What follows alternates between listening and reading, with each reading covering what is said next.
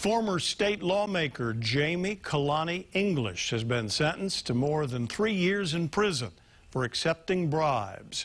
A federal judge also ordered English to pay a $100,000 fine. Manolo Morales has more. The former Senate Majority Leader, shown here wearing a white mask, had nothing to say when asked to comment. Inside the courtroom, English expressed remorse in front of the judge. He said, I ask myself continually why I did what I did. With deep remorse, I have to look at this. The judge sentenced English to a prison sentence of 40 months and three years of probation. He's also been ordered to pay a $100,000 fine. The court, I think, gave the best sentence the could, court could under the circumstances and uh, recognizing the cooperation. But yeah, I think it sends a pretty effective message. English accepted bribes of more than $18,000. Both he and former state representative Ty Cullen pleaded guilty in February for accepting cash, casino chips, and other gifts. Prosecutors say in exchange they drafted legislation on cesspool and wastewater policy to help a businessman identified by his attorney as Milton Choi.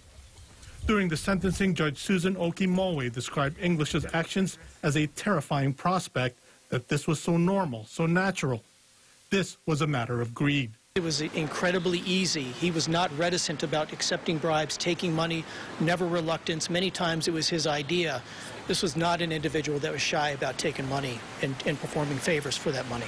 The head of Common Cause Hawaii says the sentence is appropriate. To show that corruption and bribery in our political process will not be tolerated. What is so disturbing is that we had to get to this place.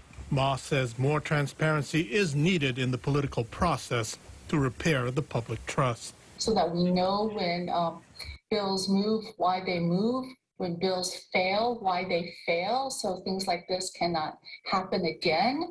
House Speaker Scott Saiki sent a statement saying, I hope this serves as a message to everyone in government that there can be no tolerance for unethical conduct. Cullen is scheduled for sentencing in October. Manolo Morales KHON2 News, working for Hawaii.